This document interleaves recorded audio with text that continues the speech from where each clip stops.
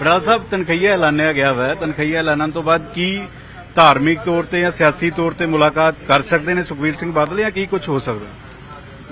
ਜੋ ਦੇਖੋ ਮਰਿਆਦਾ ਆਖਦੀ ਆ ਸਿੱਖ ਪੰਥ ਦੀ।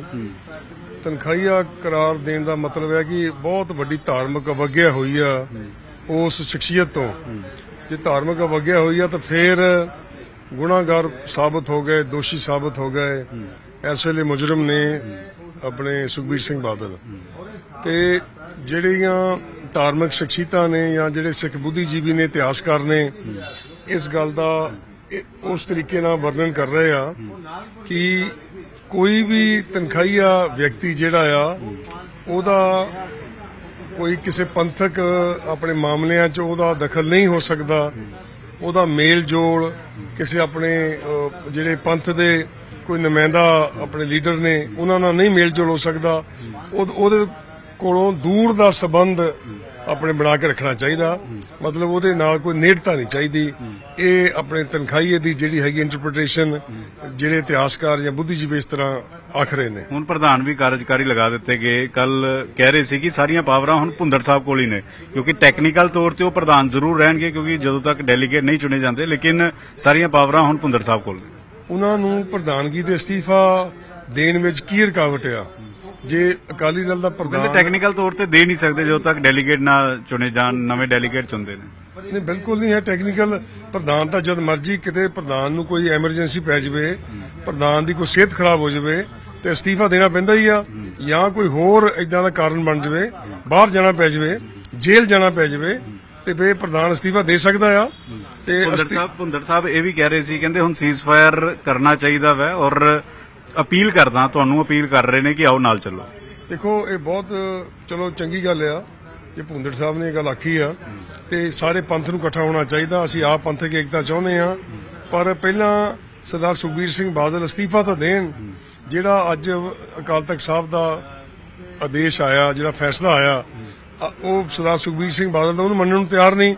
ਉਹਨਾਂ ਨੇ ਕਿਹਾ ਵੀ ਨਿਮਾਣੇ ਸਿੱਖ ਵਜੋਂ ਤੁਹਾਨੂੰ ਆ ਕੇ ਮਾਫੀ ਮੰਗਣੀ ਮੈਂ ਚਾਹੀਦੀ ਹੈ। ਨਿਮਾਣਾ ਸਿੱਖ ਹੋ ਕੇ ਜਾ ਰਿਹਾ। ਨਹੀਂ ਨਿਮਾਣਾ ਸਿੱਖ ਦਾ ਮਤਲਬ ਤੁਹਾਡੇ ਕੋ ਤੁਸੀਂ ਉਹ- ਉਹਦਾ ਆਪਣਾ ਛੱਡਦੇ ਨਹੀਂਗੇ ਤੁਸੀਂ ਉਸ ਜਿਹੜੀ ਆਪਣੀ ਸੋਚ ਤੋਂ ਪਾਸੇ ਨਹੀਂ ਹਟਦੇ। ਤੁਹਾਨੂੰ ਪ੍ਰਧਾਨਗੀ ਛੱਡਣ ਵਿੱਚ ਕੀ ਰੁਕਾਵਟ ਹੈ ਦੱਸੋ? ਤੁਹਾਡੇ ਨਾਲ ਜਿਹੜੇ ਤੁਹਾਡੇ ਗਰੁੱਪ 'ਚ ਜਿਹੜੇ ਸਾਥੀ ਨੇ ਉਹ ਉਸ ਵੇਲੇ ਕੈਬਨਿਟ 'ਚ ਵਜ਼ੀਰ ਸੀ। ਉਹਨਾਂ ਨੂੰ ਵੀ ਸਪਸ਼ਟੀਕਰਨ ਦੇਣ ਲਈ ਕਿਹਾ ਗਿਆ। ਸਾਰੇ ਦੇਣਗੇ। ਜਿਨ੍ਹਾਂ ਜਿਹੜੇ ਜਿਹੜੇ ਕੈਬਨਿਟ ਦੇ ਮਿਨਿਸਟਰ ਸੀਗੇ ਜੋ ਅਕਾਲ ਤਖਤ ਸਾਹਿਬ ਦੇ ਆਪਣੇ ਜੈਦਰ ਸਾਹਿਬ ਨੇ ਫੈਸਲਾ ਦਿੱਤਾ ਹੈ ਸਾਰੇ ਹੀ ਆਪਣਾ ਜਿਹੜਾ ਸਪਸ਼ਟੀਕਰਨ ਦੇਣਗੇ।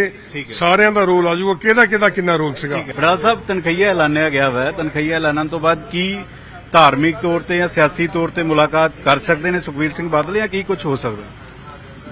ਜੋ ਦੇਖੋ ਮਰਿਆਦਾ ਆਖਦੀ ਆ ਸਿੱਖ ਪੰਥ ਦੀ। ਤਨਖਾਹੀਆ ਕਰਾਰ ਦੇਣ ਦਾ ਮਤਲਬ ਹੈ ਕਿ ਬਹੁਤ ਵੱਡੀ ਧਾਰਮਿਕ ਅਵਗਿਆ ਹੋਈ ਆ ਉਸ ਸ਼ਖਸੀਅਤ ਤੋਂ। ਜੇ ਧਾਰਮਿਕ ਅਵਗਿਆ ਹੋਈ ਆ ਤਾਂ ਫਿਰ ਗੁਨਾਹਗਾਰ ਸਾਬਤ ਹੋ ਗਏ, ਦੋਸ਼ੀ ਸਾਬਤ ਹੋ ਗਏ।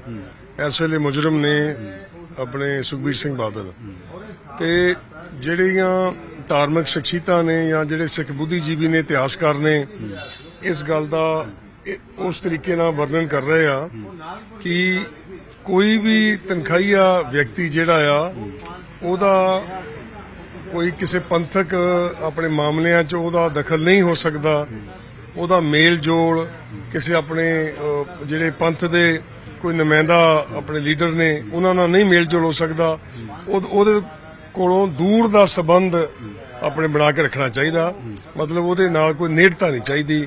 ਇਹ ਆਪਣੇ ਤਨਖਾਹੀਏ ਦੀ ਜਿਹੜੀ ਹੈਗੀ ਇੰਟਰਪ੍ਰੀਟੇਸ਼ਨ ਜਿਹੜੇ ਇਤਿਹਾਸਕਾਰ ਜਾਂ ਬੁੱਧੀਜੀਵੀ ਇਸ ਤਰ੍ਹਾਂ ਆਖ ਰਹੇ ਨੇ। ਹੁਣ ਪ੍ਰਧਾਨ ਵੀ ਕਾਰਜਕਾਰੀ ਲਗਾ ਦਿੱਤੇ ਗਏ। ਕੱਲ ਕਹਿ ਰਹੇ ਸੀ ਕਿ ਸਾਰੀਆਂ ਪਾਵਰਾਂ ਹੁਣ ਭੁੰਦਰ ਸਾਹਿਬ ਕੋਲ ਹੀ ਨੇ ਕਿਉਂਕਿ ਟੈਕਨੀਕਲ ਤੌਰ ਤੇ ਉਹ ਪ੍ਰਧਾਨ ਜ਼ਰੂਰ ਰਹਿਣਗੇ ਕਿਉਂਕਿ ਜਦੋਂ ਤੱਕ ਡੈਲੀਗੇਟ ਨਹੀਂ ਚੁਣੇ ਜਾਂਦੇ ਲੇਕਿਨ ਸਾਰੀਆਂ ਪਾਵਰਾਂ ਹੁਣ ਭੁੰਦਰ ਸਾਹਿਬ ਕੋਲ ਨੇ।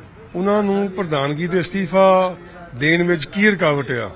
ਜੇ ਅਕਾਲੀ ਦਲ ਦਾ ਪ੍ਰਧਾਨ ਟੈਕਨੀਕਲ ਤੌਰ ਤੇ ਦੇ ਨਹੀਂ ਸਕਦੇ ਜਦੋਂ ਤੱਕ ਡੈਲੀਗੇਟ ਨਾ ਚੁਣੇ ਜਾਣ ਨਵੇਂ ਡੈਲੀਗੇਟ ਚੁਣਦੇ ਨੇ।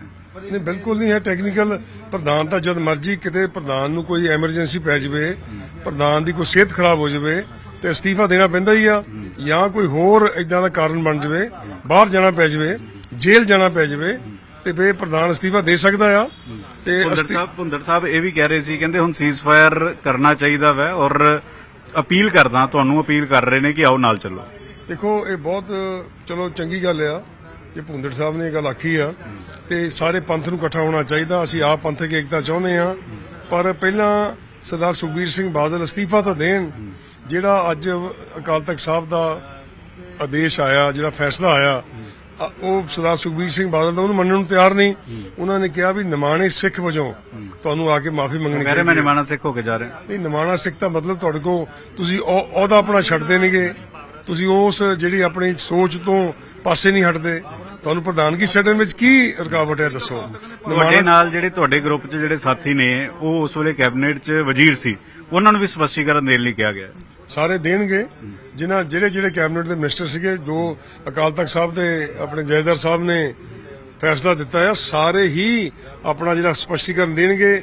ਸਾਰਿਆਂ ਦਾ ਰੋਲ ਆ ਜਾਊਗਾ। ਕਿਹਦਾ ਕਿਹਦਾ ਕਿੰਨਾ ਰੋਲ ਸੀਗਾ?